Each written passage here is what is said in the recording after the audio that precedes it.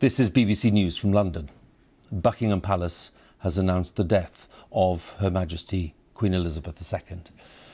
In a statement, the palace said the Queen died peacefully at Balmoral this afternoon.